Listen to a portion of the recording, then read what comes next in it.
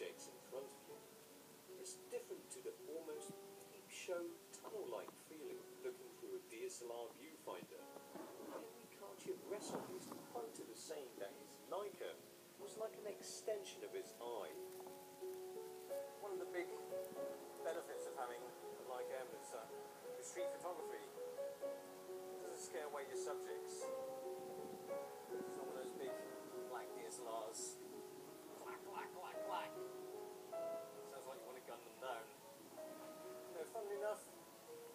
cameras to make a, a kick and a fuss I'm taking that shot.